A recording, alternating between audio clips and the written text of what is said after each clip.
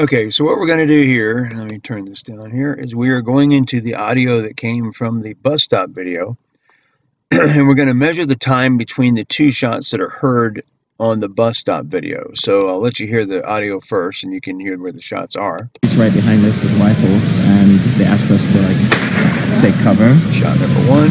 And so we ran. There's Um, glass falling from Mandalay Bay. and so we ran over.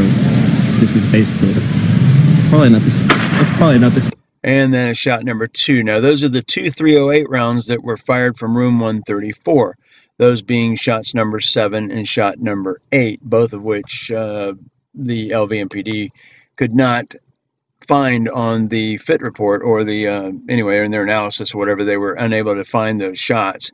So we have them, uh, they're on the bus stop video, and I'm also going to show you where they are on the police body cam footage as well. So let's measure the distance between these two peaks. Let me spread this out a little bit further here, get a little bit more accurate. So what we're going to do is we're going to put a marker right here at the beginning of the first shot, right about here. And then we're going to stretch this over to the sound of the second shot, which comes up here in the, just a moment. Normally it's about 10 seconds into this. So we're going to scroll over to that and uh, measure the distance between the two times and then we're going to use that information to go over to the body worn camera footage and from that footage we're going to see if we can find the shots based on some uh, guessing of where those shots should be on that video and then measuring the distance between the two sounds that we hear on that video and see if they match. And if they match then we'll have a pretty good indicator as to what uh, what we're listening for. And I could have measured this a little bit differently because I'm stretching this uh, out quite a bit, but we'll be there in just a second.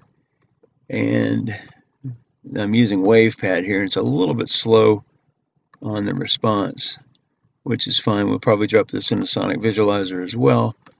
Uh, that way I can have someone peer review this. Uh, that would be Richard with Vegas One Sounds. So we're just about to that secondary sound here, and then we'll have a good indicator as to what the uh, time frame is between the, the sounds here. And let's see here, there it is right there. Okay, so there's your second shot there. We're going to go back here and measure the distance between the two. It should be about 10.2 something seconds. And what do we have here? Now, according to this, we have, I'll get that off. 10.263 seconds between the two shots. So we're going to go and bring in the other program or the other shot that we hear on the uh, number 65 uh, body cam footage. So remember this number 10.263. That's what we're going to be looking for on that one. So we're going to open up that file, which is here on my desktop, and here's the audio of it. And on this file, we know that shot's going to come in at about the nine minute mark. Should be about right here. So we'll listen in, and then I'll zoom in on that. You, uh, go So we're going to be just north of uh, It's about eight minute mark. Now we're going to go forward a little bit. Control 166. I'm shot victim. Oh my God. Gunshot to the leg. And that's where Officer Hendrex actually froze out there. You heard him. But they do continue on down the hall and they go into the, the stairwell. Now, this is going to be incredibly faint. This is why it took a year to find this shot. One year to match these shots up and also to match it up with the uh, with the suicide shot. But if you listen in at just about the nine minute, look right here, and 11 second mark, you're going to hear the suspected shot coming up. Right here. Oops, I paused sorry. That's your shot. Now, a lot of people, when I originally came out with this file, suspected that this may be a door sound, and you're going to see the difference between that. This is the door right here, and this is the suspected shot you're going to hear here. So listen to it again, and we're going to go forward about 10.263 seconds and listen for the second suspect shot. Here we go. Shot number one. Then you hear the door. Hear some other erroneous sounds. Now keep in mind that was at the 1011. Here's second. Right there. Okay, so here's our suspect shot number two. And we'll go back here a second. And there's our suspect shot. Uh, I went back too far. Right there. We're going to play it to it. You can see it right here coming up. That's right there. Now look at this shape. Right there.